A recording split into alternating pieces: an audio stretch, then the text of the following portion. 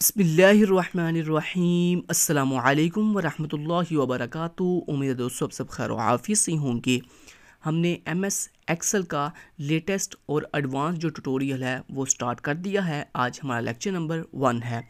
दोस्तों, मैं आप लोगों के लिए बहुत ही एडवांस ट्यूटोरियल लेकर आया हूँ और उम्मीद करता हूँ कि आपको ये हमारा ट्यूटोरियल बहुत ही अच्छा लगेगा।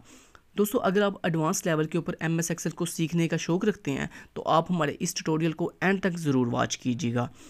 सो दोस्तों, आज के अपने इस लेक्चर नंबर वन के अंदर मैं आपको ये सिखाऊँगा कि अगर मान लो आपके पास एक्सेल के अंदर कुछ रिकॉर्ड है, कुछ इन्फॉर्मेशन है, कुछ रोज़ हैं, और आप उस रिकॉर्ड में से कोई स्पेसिफिक रो या कोई मल्टीपल रोज़ जो हैं, वो किसी पर्सन से हाइड करना चाहते हैं तो आप किस तरह से उन्हें हाइड कर सकते हैं? सबसे पहले दोस्तों, उन रोज़ को सिलेक्ट कर लें जिन रोज़ को आपने हाइड करना है। तो मान लो मैंने ये row number four and row number five in two rows को जो है, वो बाकी तमाम के तमाम लोगों से जो है वो हाइड करना है। तो सबसे पहले मैंने अपनी उन रोज़ को सिलेक्ट कर दिया। तो आप भी अपनी उन तमाम की तमाम रोज़ को स्पेसिफिक रोज़ को सिलेक्ट कर लें, जिनको आप हाइड करना चाहते हैं।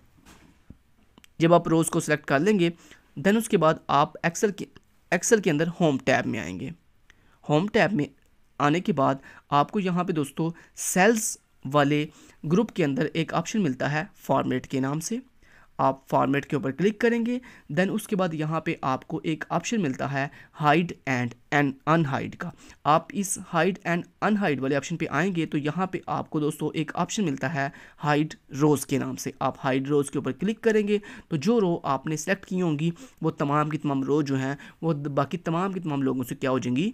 हाइड हो जाएँगी। अब दोस्तों, अगर आप इस एक्सेल की शीट को बंद भी कर देंगे, लेकिन शर्त यह पहले आपने सेव कर लेना। कंट्रोल एस शॉर्टकट की के साथ भी आप इसको सेव कर सकते हैं, या फिर जब आप एक्सेल बंद करते हैं, तब भी ये आपको सेव करने की ऑप्शन देता है, आप इसको सेव कर सकते हैं। दोस्तों, अगर आप आप एक्सेल को क्लोज़ भी कर देंगे, उसके बाद दोबारा री ओपन करेंगे तो फिर भी ये जो रोज़ आपने अभी अभी हाइड की हैं, ये हाइड ही रहेंगी। उम्मीद करता हूँ, आज का हमारा ये लेक्चर आपके लिए बहुत हेल्पफुल रहा होगा। Thank you so much till then guys take care अल्लाह हाफिज़।